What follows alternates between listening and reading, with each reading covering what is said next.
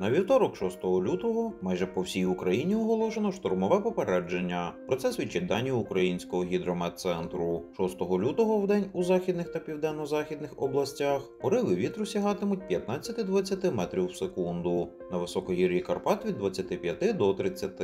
Йдеться у попередженні. Перший рівень небезпеки жовтий оголошено по всій Україні, окрім трьох областей: Сумської, Одеської та Миколаївської. Попередження про небезпечні метеорологічні явища оприлюднено також окремо для Києва та Київської області. У столиці та Київській області через сильний вітер також оголошено перший рівень небезпеки.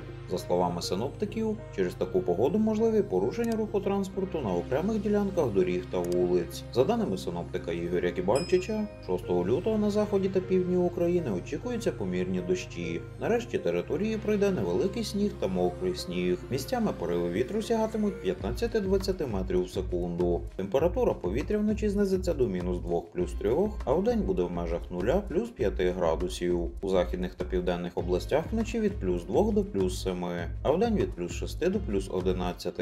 А на Одещині повітря прогріється до весняних плюс 11 плюс 16 градусів. Підписуйтесь на наш канал, щоб завжди бути у курсі останніх актуальних подій. Ставте дзвіночок, щоб першими дізнаватися точний прогноз погоди.